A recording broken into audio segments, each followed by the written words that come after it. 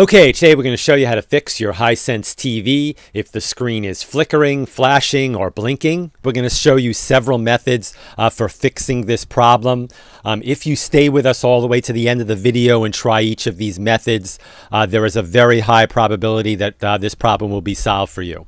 Okay, the first thing to try here is really the simplest, and in most cases, this one will actually work, so you might not even need to go on. Just basically unplug your TV from the wall, wait about 60 seconds, and then plug it back in. This will reset your TV.